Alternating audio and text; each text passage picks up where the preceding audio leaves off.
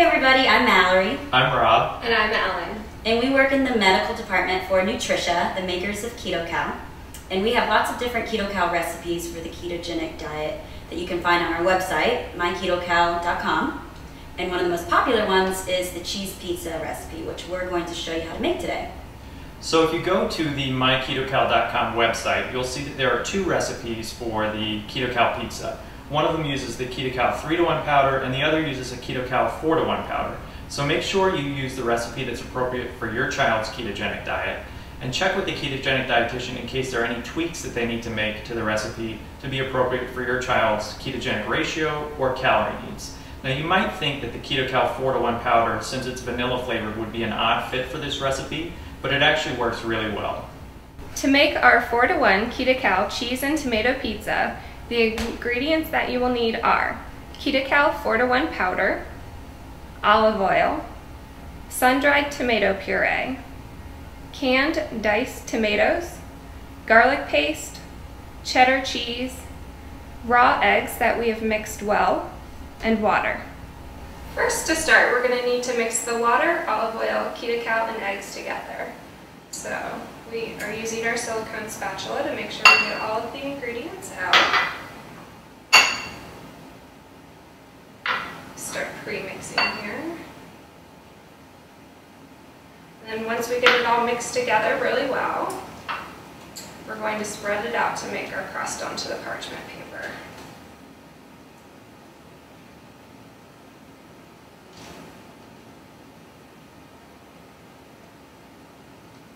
Again, you want to make sure you get every last bit of it out of this container.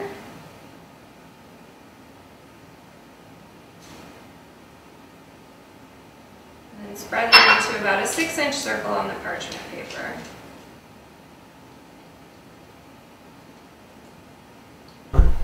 Okay, so now that we have our crust ready, we'll move on to the toppings. So to make the sauce, we're gonna mix our garlic puree with our canned diced tomatoes and the sun-dried tomato puree. And again, you wanna use your spatula to make sure you get every little bit out.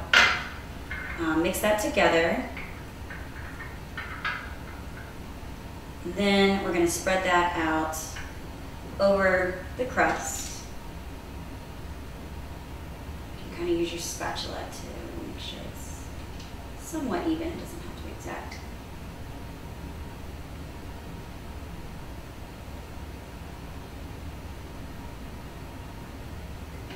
Okay, and then last, we'll top it with our cheese. Again, you can use your spatula to make sure you get everything out. All right, we've heat, re preheated the oven to four, 325 degrees. So we'll go ahead and put this in. Now generally, uh, we suggest a baking time of between 10 and 20 minutes. That's because ovens can vary considerably. So we're gonna keep an eye on it, and when it reaches a nice golden brown, that's when it's done. Um, now once you take it out of the oven, you wanna let it cool, and then it's ready to eat.